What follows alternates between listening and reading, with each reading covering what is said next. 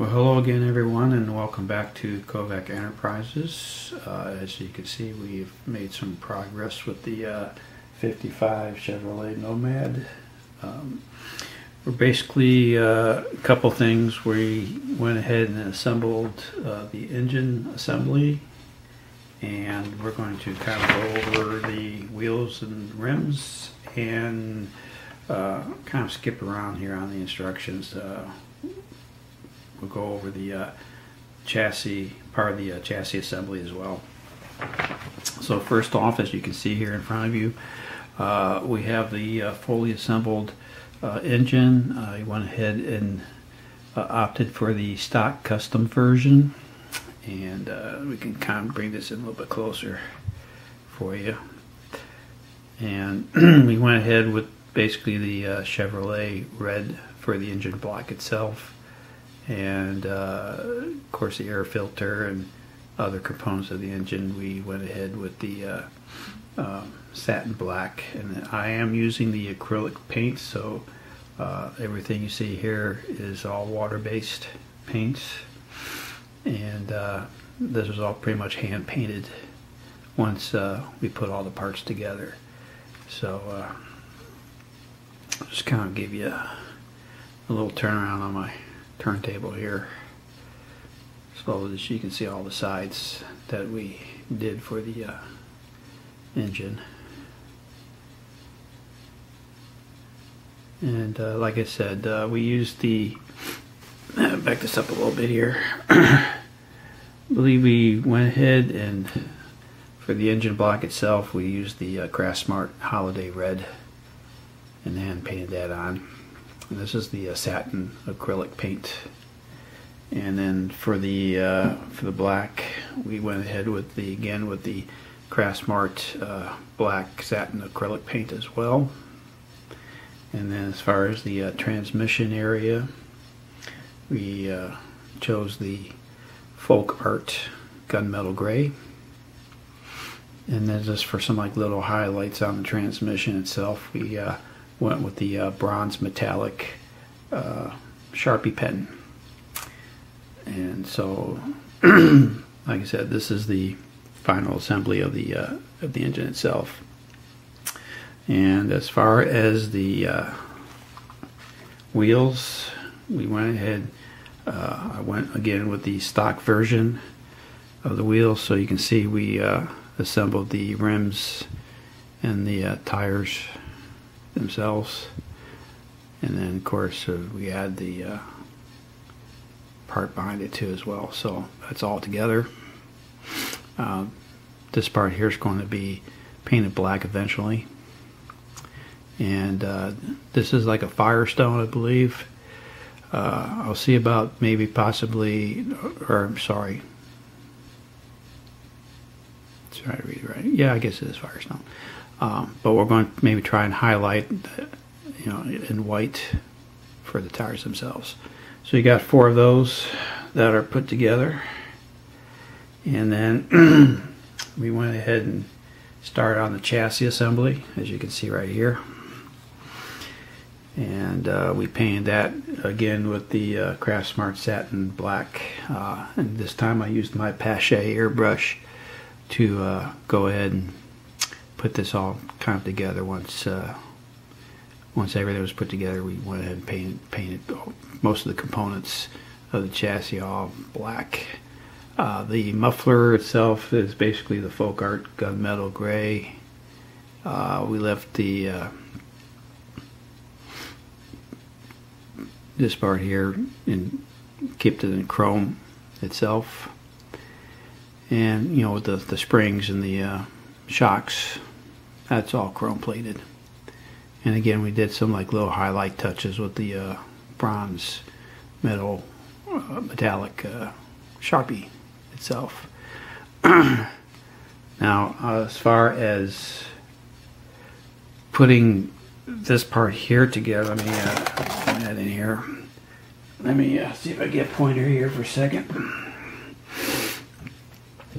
Uh, as far as the instructions on the uh, page here, as far as how to uh, it's not really in order. You have to kind of dry fit everything and see what's the best way of gluing each part without uh, interfering with another part that's gluing it afterwards.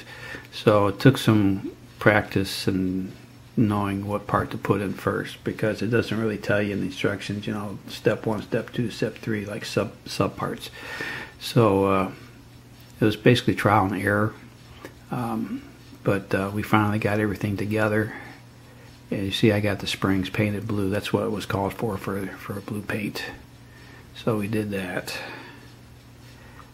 So that's basically what we have here. So pretty much the uh, chassis is complete at this point. Uh, so next step will be to go ahead and insert the uh, drive shaft and glue in the uh, the motor itself. So uh, stand by and we will be right back.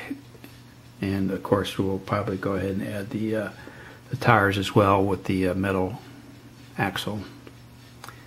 And uh, like I said, we'll be right back and we'll catch you later. See you soon. All right, and we are back. And as you can see, we did a little bit more work on the uh, chassis part. Uh, like I say, as far as uh, gluing in the uh, engine, as well as uh, attaching the uh, the wheels themselves. Um, while we're looking at it, I I did went ahead and hand painted the kind of white around the outside of the tires here it had some good indenta- uh, indentions in it, so it, it, was easy to kind of stay within that circle pattern. So uh, we went ahead and did all four tires like that. Uh, there's that there. And we can kind of turn this around here and you can see the engine from a different perspective here. So there you go. And of course then we have the other side here as well. Now as far as, you know, we'll kind of flip this thing around. You can see the underside. Uh, so basically, uh, the model gives you a metal axle, uh, but if you insert the one end of the metal axle to one part of the tire and you feed it through the uh, rear suspension, it doesn't come out the other side. So to resolve that situation, uh, I went ahead and took the uh, metal axle. I measured it out to it was like two and a, about two and a quarter inches long. Uh, I looked at the halfway point and I actually cut it in half uh, so that uh, I went ahead and glued in the one half, slide in this way here, glued the other half in, and slide it in this way here. That way, uh, I had full contact with the tires to the rear suspension without losing that uh, metal axle. So that was what I did on that part. And you can see we have the drive shaft in place here. And uh, we had like one pinpoint uh, where the oil pan was uh, to attach to the front end here. So there you go. So we got that situated and all together on that. So we'll go ahead and take that out. Uh, we also went ahead and started on the interior bucket. And this is what we came up with. Um, as you can see, oh, one second. I just want to grab something here for a second. Okay. So, as you can see, I went ahead with the uh, black satin acrylic paint.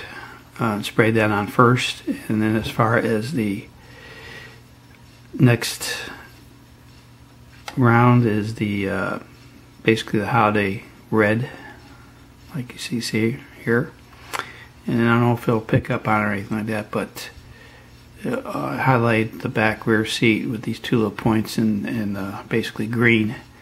Uh, so if you recall, I'm kind of doing a color pattern theme uh, in honor of Chris. As you can see with the, I don't know if the camera will pick up the colors here, but Of course, this Chris Cortell's Classic Plastic 101 Hangout uh, has the colors of the uh, white, green, red, and the black for the background. So uh, that's kind of like what I'm going with uh, to kind of honor Chris the best I can. Um, so, and on the back side here, I went with a brown and uh, kind of hand painted that on there. Kind of looked like a wooden uh, deck area.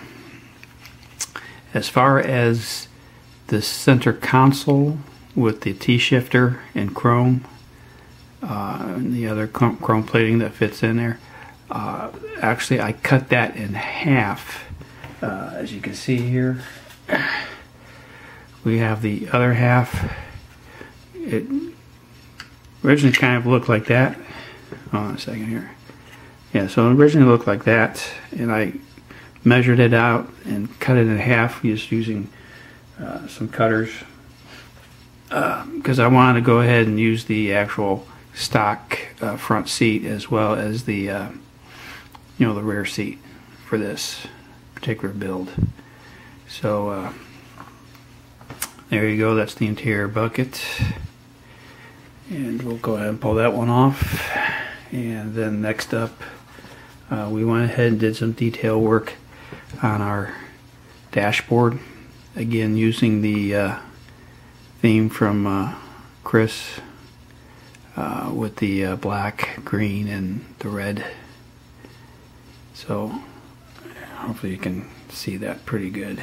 And I'll probably post some pictures at the end of the video so you get a better detailed look of it. So there you go. There's that. And I probably won't use these, but you know they came with two of these as well as the uh, kind of bucket seats. But uh, I was in a painting mood, so I went ahead and painted these all up. May want to use them for a future build for putting it in something else. But that comes with the uh, like basically the seat belts and everything already molded in there. So that is that. And like I said, with that being said, that's about where we're at right now with the uh, build in this uh, episode. And uh, so, with that being said, uh, we will leave it at that. Uh, try to make this as short as possible, and uh, we'll go ahead and wait for the next video. So until then, everybody have a good day, and we will catch you on the uh, next installment for the uh, 1955 Chrysler Nomad. It's Kovach Enterprises, signing off.